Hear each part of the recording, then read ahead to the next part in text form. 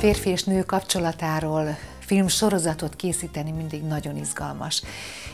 Számomra mindig nagyon fontosak voltak az értékek, és hogyha ebbe a sorozatba olyan fajta értékeket bele tudunk rakni, mint család, házasság, és mindezt egy görbe tükrön keresztül kacagva és kacagtatva meg tudjuk mutatni a nézőknek, hát ennél izgalmasabb nincsen. Azt szeretnénk elérni, hogy hogy mindenkinek olyan boldogság és öröm legyen, amikor ezt a filmsorozatot nézi, mint ahogy nekünk ezt elkészíteni öröm volt.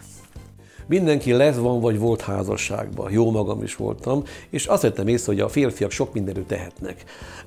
Nem vagyunk elég figyelmesek, elég kedvesek, elég kitartóak, átalakulnak a mondataink. Amikor meglátunk egy szép nőt, odadunk mindenünket, azt mondjuk, drágám, ilyen nőről álmodtam, mint te vagy, majd 20 év múlva azt mondjuk neki felkelve az ágyba, hogy rólad álmodtam, megint felijedtem, csupa víz a pizsamám.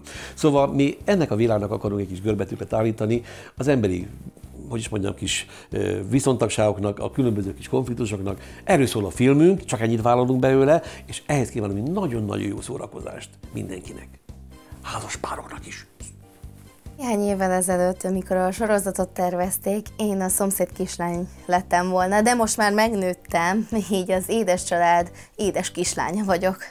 Ebben a kis sarokban már nagyon sok minden történt, nagyon sok olyan dolog, ami nagyon nagy büszkeséget jelent nekem, de most mindenképpen szintén büszkének érezhetem magam, hisz az első első olyan dolog, ami, ami képernyő formájában is, látszólagosan is az enyém lehet, és ez egy filmzene. Ez nekem nagy öröm.